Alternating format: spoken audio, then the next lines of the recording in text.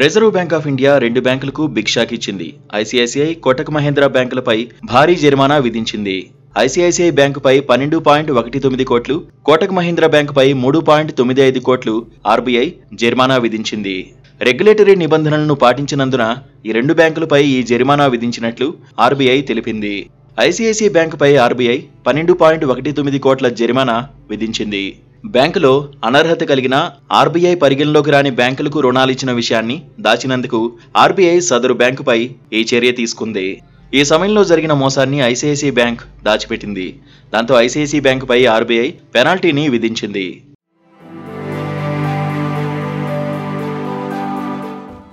కోటక్ మహీంద్రా బ్యాంకుపై మూడు పాయింట్ తొమ్మిది ఐదు కోట్ల జరిమానా విధిస్తున్నట్లు ఆర్బీఐ ప్రకటించింది.